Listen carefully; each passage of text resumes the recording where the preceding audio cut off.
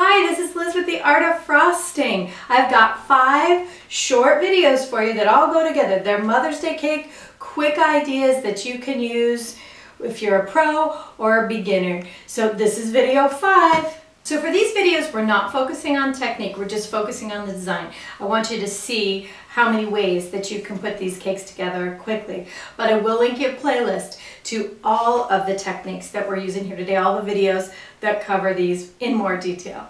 We are on to our fifth cake, and for you pros, this is a real trick here. I'm actually getting to the point where I'm low on icing and I'm gonna have to make another batch. So what I'm gonna do is stretch my icing by using the colors I already have and I'm going to make a tricolor sweet pea border. So I still have pink left in my bags, I still have yellow, and then I might use lavender here or I put pink and yellow together. Let's see how it goes. So I'm leaving a space for two more sweet peas. You could also do this with roses, five petal flowers, but this sweet pea border is really good. So I'm going to add the next one right in behind it.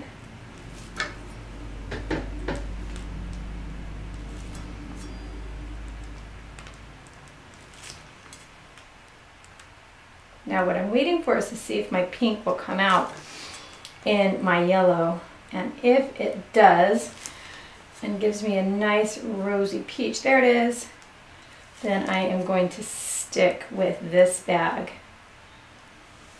You know what? Last minute, change my mind. I'm going to go ahead and use the lavender. I think you guys will be able to see it better and give us a little pop color.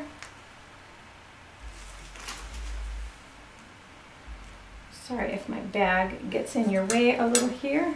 Trying to help you see. Okay, now some of them I got a little tight, so those are going to have to be small.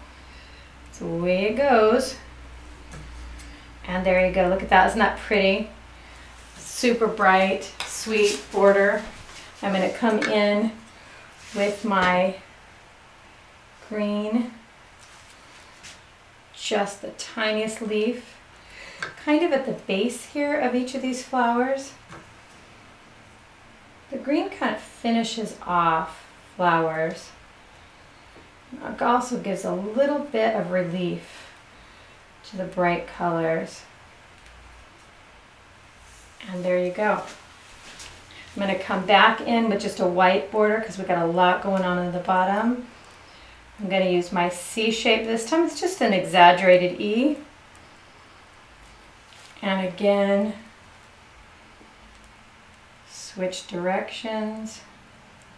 It's a really pretty border, easy and fills up a lot of space. There's my heart in the front. So all that's left is our writing and um, we can write Happy Mother's Day or just Mom. So on this little one, I'm just going to write Mom. Big long letters.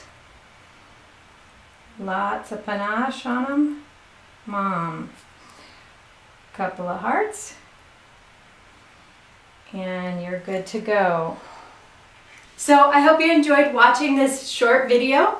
Remember that there are four more that we'll link at the end to make all five videos. Thanks for watching. I really appreciate it. Don't forget to subscribe, join me at my blog, join me on Facebook, and like us. We'll see y'all soon. Thanks.